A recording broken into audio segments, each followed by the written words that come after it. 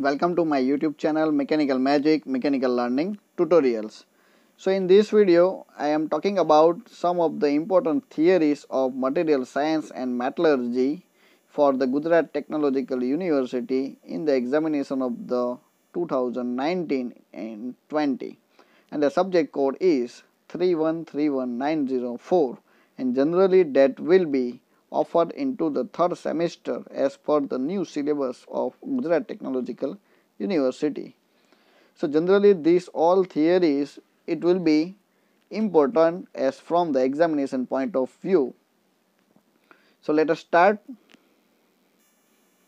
with the chapter number 1 and that will be the introduction to material science and metallurgy. So theory number 1 state the importance of material science and brief explain about engineering requirements of the materials. So here it will be the two combination of the theory and that will be the total package of 7 marks. Sometimes it will be only state the importance of the study of material science for 3 to 4 marks and explain the engineering requirements of the materials it will be also for 3 to 4 marks. Then next question and that will be the importance so explain the selection criteria for engineering materials for the 4 marks or 7 marks. Name at least one application of the following engineering properties of the materials. So here the important one and for the examination point of view. So starting with the hardness, toughness, creep, strength, plasticity and stiffness. So either that will be the property it will be given into the examination. So you should write according to the applications and if the application is given to you, you should write about the which kind of properties is required as from that particular applications. So at least one 7 marks of questions is from the chapter number 1. Then next chapter 2 and that will be the crystal geometry and crystal imperfections. So from that draw the most common observed space lattice structure into the metals. So in that case BCC, FCC and HCP. So generally for 3 to 4 marks. Second questions atomic packing factor for the crystals of simple cubic, FCC and BCC structures or sometimes the effect of the packing factor onto the crystal geometry of the materials for 4 marks theory. Then important one nuclei and the growth of a nuclei for pure metal and binary metal alloys for 4 marks. Important theory as from the examination point of view and you can also prepare for the GATE examinations. So for that point defects and that point defects it will be considering as a Frenkel, Schottky, substitutional and interstitial kind of point defects. So generally for the 4 marks effects of the grains and grain boundaries onto the properties of the structure. So generally containing with the 4 marks theory. Difference between the edge dislocation and screw dislocations. So as from the GTU examination concerned, so that will be having a importance for 4 marks theory. Then chapter number 3 metallic materials. So stress strain curves for the ductile materials. What is fracture? Explain the complete ductile fracture in detail for 4 marks. Difference between macro and micro examination 4 marks. Explain the steps of the micro examination or you can say sample preparation for the micro examination for 7 marks. So maximum possibility of this theory. Construction working of the metallurgical microscope for 7 marks. So that will be having a good chance spark test for 4 marks. Then chapter number 4 solidifications and the theory of alloys. So in that case solid solution of metal alloys or you can say types of solid solutions the maximum chance for the 4 marks. What is the significance of liquidus, solidus and solvus line into the phase diagrams or you can say importance of the liquidus, solidus and solvus lines in case of phase diagram for 4 marks most important questions as from the examination point of view for 7 marks and that will be what is Gibbs phase rule and define the system phase and degree of freedom so that the degree of freedom in eutectic point in a binary phase diagram is becoming 0. Draw the cooling curve for the pure metal, binary metals and binary eutectic alloys and validate by the Gibbs phase rule. So maximum chance from the Gibbs phase rule.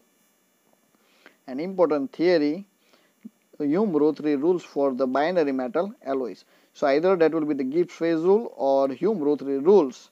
So one of out of these two theories that will be having a maximum chance for the examination point of view. And phase diagram with lever arm rule for the 4 marks. Chapter number 5 phase and phase equilibrium. So in that case explain the isomorphous transformation with Naitzsch's or in another form of these questions like both the metals are soluble into liquid state and solid state for 7 marks. Then second questions explain the eutectic transformation with the total insolubility. In another way both the metals are soluble into liquid state but insoluble into solid state. And the third pattern and that will be explain the eutectic transformation with partial generally partially solubility so in another way, both the metals are soluble into liquid state but partially soluble into solid state. So out of this theory, the one having a maximum chance. Then chapter number 6, first important questions and that will be the allotropy of irons, then iron carbon diagram. So 100% definitely chance for the iron iron carbon diagram. So in that case, first one, draw the iron carbon diagram and explain with the peritectic transformation. Draw the iron carbon diagram and eutectic transformation. And third one, the draw the iron carbon diagram and explain the eutectoid transformation. Or in another way, the draw the iron carbon diagram and explain about the austenite to pearlite transformation. Or in some another way, here it will be not display, but draw the iron carbon diagram and discussing about 0.8 percentage of carbon or eutectoid steel. And the state the critical reactions of iron carbon phase diagram. So 1 7 marks theory from this chapter. Then chapter number 7 heat treatment of steel. So most important questions and that will be the least the purpose of the heat treatment process or you can say define the heat treatment process and differentiate between annealing and normalizing process for the 7 marks question. Define the critical cooling rate or you can say CCR of steel and show the same onto the TTT diagram with the complete labeling for 7 marks explain the different heat treatment process on a TTT diagram or you can say explain the different cooling curves on TTT diagram for 7 marks. Which are the various surface hardening processes and explain the induction hardening process with the Naitzsch for 7 marks. Explain with the Naitzsch of martempering and austempering process for 7 marks and discuss the mechanism of the quenching of the steel, state the advantages and drawbacks of the water and oil as a quenching media for 7 marks and what is tempering and need of the tempering process. So at least one 7 marks question from this chapter. And last one, what is hardenability and explain the Jominy and quench test to check the hardenability for 7 marks.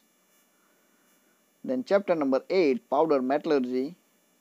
So explain with the flow chart of the basic process of powder metallurgy for 4 marks.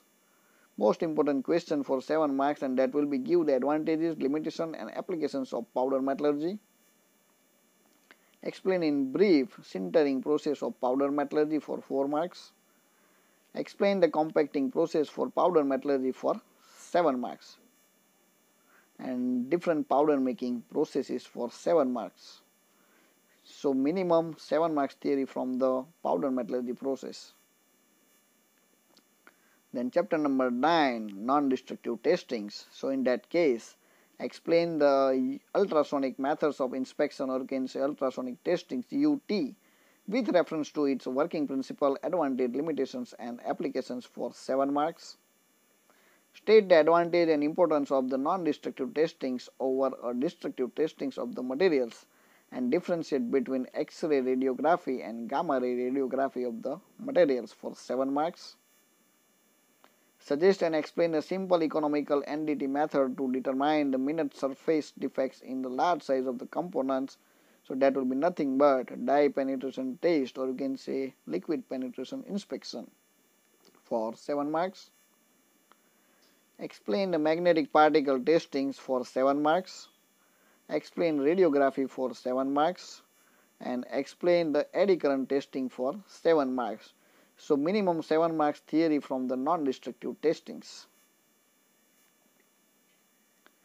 Chapter number 10 corrosion of metals and alloys. So that will be the new chapter in this syllabus discuss the cathodic protection of methods of corrosion prevention for the underground pipelines for 4 to 7 marks. What are the factors affecting the rate of corrosion and explain the hydrogen evolution and hydro oxygen absorption mechanisms of the corrosion for 7 marks most important questions. Material surface treatments or you can say metallic coating for the 4 marks. Types of the corrosion for the 7 marks theory. So at least one question out of these questions having a maximum chance into the examination point of view. And some of the questions from alloys and cast irons.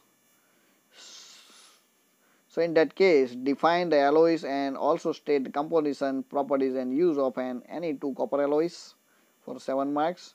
State the composition and the specific applications of the Muntz metal, German silver and naval brass for 4 marks. What are the purpose of the alloying? Give the effect of the nickel as an alloying elements for the 7 marks. What are the properties of the bearings for 7 marks? What are the properties of the aluminum alloys for 7 marks?